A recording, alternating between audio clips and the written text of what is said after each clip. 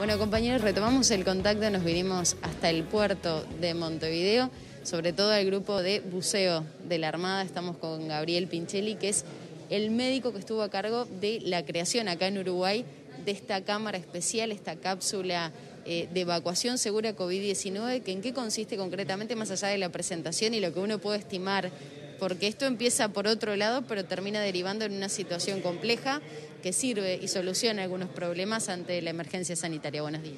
Buen día, ¿qué tal? Muchas gracias por venir. Sí, eh, para nosotros el desarrollo fue hacer una cámara hipovárica, una cámara para utilizar en pacientes con hipotermia,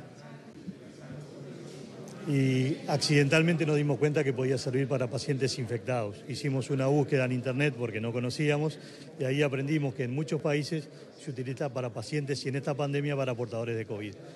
Intentamos eh, averiguar en algunos lugares para adquirir una y hay un tiempo de demora muy importante porque todos los países están fabricando para sí mismos y no hay para exportar. Entonces nos propusimos el proyecto de crear una con nuestras posibilidades y adecuada a la realidad uruguaya. Y bueno, es lo que hicimos. Esto es una cápsula que tiene un motor, una bomba, que aspira el aire, generando un vacío dentro para que si el paciente está contaminado no contamine al entorno. Tiene dos filtros de tipo EPA que filtran el aire cuando sale y lo devuelve a la atmósfera completamente limpio. Eso genera una gran utilidad para el personal de la salud. Como tú sabes, el personal de la salud es, el más es uno de los más afectados en esta pandemia porque contraen muchas infecciones y genera estrés trabajar con pacientes de ese tipo. Y esto le genera seguridad al personal. ¿Cuáles son esas garantías que se brindan más allá de lo que señalaba recién? También la forma en la que se puede eh, trabajar con el paciente desde afuera, si vemos esos huecos con una suerte de guantes especiales. Sí, exacto. Los guantes son para brindar asistencia. No, no solo lo trasladamos, sino que durante el traslado lo asistimos y podemos trasladar pacientes de todo tipo y de gravedad, inclusive pacientes en coma intubados y ventilados. Tiene un lugar para pasar una sonda de respirador. ¿esta va a ser la única cámara de este tipo de cápsula que va a haber en nuestro país? Para nosotros, para la Armada, sí, eh, pero estamos dispuestos a quien quiera eh, transmitir el conocimiento que adquirimos en la, en la creación del proyecto, porque es para la sociedad civil. Nosotros tenemos una, es para quien la necesite, pero estamos dispuestos a que esto se pueda multiplicar. ¿Y los elementos son muy costosos? ¿Se pueden conseguir fácilmente en nuestro país? Nosotros, el, costo de esta, con el costo de esta cámara nos sorprendió, son realmente bajos. En el mercado, con el valor de una cámara americana o europea, podemos hacer 10 de estas cámaras.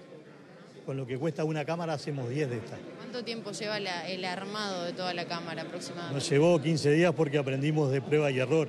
Esas cámaras que están allí es la evolución de los modelos pero hoy que aprendimos a hacerla, en un día la podemos hacer.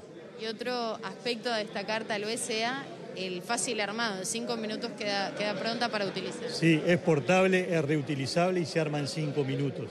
Y está construida con elementos uruguayos, la armamos un poquito a la uruguaya, pero lo importante a destacar es que cumple la normativa internacional.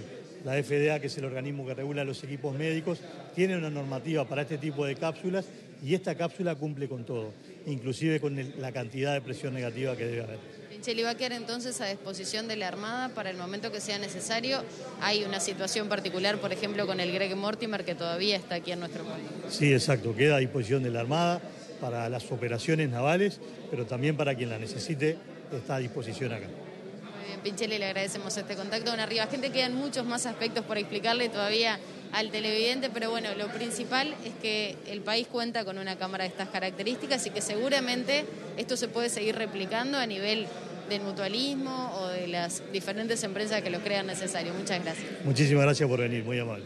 Era la palabra de Gabriel Pinchelli, médico de la Armada, fue uno de los creadores de esta cámara especial denominada cápsula de evacuación COVID-19 seguro. Siguen ustedes.